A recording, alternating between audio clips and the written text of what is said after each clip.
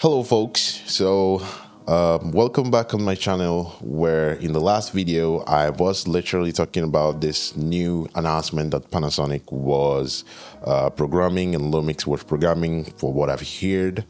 And now we're going to have an update regards of that.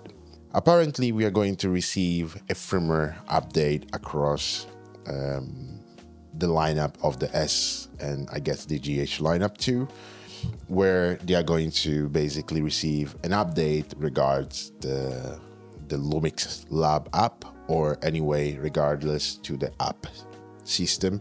So it might be that finally we are receiving the firmware update where the S5 Mark II and the S5 Mark II X will finally get the firmware update we all, we all been waiting for to allow the cameras to work with the new Lumix Lab app and get all of that cool um, stuff that the S9 got and the GH7 has, and even the S9 Mark II is supposed to get this firmware update. So that's a really cool thing, and probably some enhancement for the AF too. So maybe they will bring actually the AF into the 1080 slow motion side too. So this is kind of the firmware update we were waiting for since the announcement of the S9. So that's pretty cool. This is just a rumor though, so I'm not, I have no clue what kind of announcement are they going to bring, but this is what Andrea Pizzini from L, L Rumors said. And and then the second thing we are going to receive apparently is going to be the 80, 18 to 40 um, kit lens, the one uh, designated for the S9 that was supposed to come out with the S9 because I think that lens was supposed to be the the kit lens for the S9, but apparently it wasn't ready. So I don't even know why they went forward with the announcement. Probably because it was already programmed. But then here we are. So this lens is finally coming out, and there might be some minor um, things too, like another lens coming, probably a long lens or stuff like that. And that's about it. And that's the reason why I think there is no press release lens. So there is not going to be a launch event lens um, event. There's probably going to be as many other companies does, where they just ship in the houses of the creators the the lenses and stuff. About the firmware update, I'm a little bit concerned because usually what Lumix has done until now is that they will announce the firmware update and then you will see basically all the creators testing it and then explaining you how it works and how good it works. And I think that was really cool because that kind of thing avoided the many issues that many other companies like Canon and Sony have had lately where they had to pull back the firmware updates because is not working in other cameras, right? So I think that it's pretty smart thing that Lumix does, but until now I haven't seen that. So I don't know if tomorrow is gonna be the date where the creators are gonna get the firmware update and then we are going to receive it later on, like the people who are not creators or Lumix creators are going to receive it later. So let's wait and see um, what's gonna happen.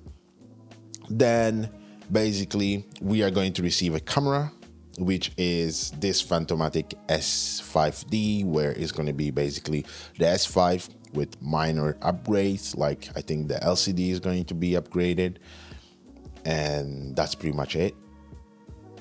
Um, so yeah, I guess they had a bunch of S5s and the sensor uh, laying around. They're like, let's just find a new way to recycle them and sell them but it's quite a good idea. But if they sell them for thousand five hundred, I think it doesn't make sense. Just like lower the price to like something the sub thousand, like because Lumix currently don't have any full frame mirrorless camera under the sub thousand, and it doesn't make sense that a camera that doesn't even have the, the hybrid phase detect autofocus system will basically cost like an S5 Mark II. Um, at this currently, you can find it around for that price. So it doesn't make sense. But if they lower the price to sub thousand, this might actually be a great idea, a great option for like a studio camera, like here, like this. And I might actually think to pull the trigger. But that's pretty much it for what we supposed to receive tomorrow. But according to Andrea Pizzini, we might be receiving, um, or at least they have confirmed that in 2025, Lumix is going to be releasing a bunch of things. So the cameras we are expecting, so the S5, eh, the S1H Mark II and the SR2 um, or S1R2 are going to be released in 2025 and most probably in Q1 of 2025. So let's wait to see in Q4 2024 because we're going to really receive many, many, many news if it is true that is coming in Q1 of 2025. So for the moment, this is it. Um, I just wanted to pop here, quickly film, and put it out there for who hasn't seen Andrea Pizzini's video. Well, here is this one. And shout out to Andrea Pizzini for the amazing work he's doing on keeping us updated on this kind of things. But it's, yeah, um, it's quite interesting. Basically, uh, yeah, this is what you're going to receive. And I don't know if you guys have any other news or thoughts, let's share them in a comment and I'll find you there. You see my disappointment face? Yeah, but I hope the firmware update it's actually what I've been waiting for. Basically, the S9 uh, firmware, so not the hardware, but, but the software into finally the S5 Mark II and the S5 Mark II X. But yeah, here we are. Take good care of yourself. I'm gonna see you down below in the comments, and uh, take good care of yourself again.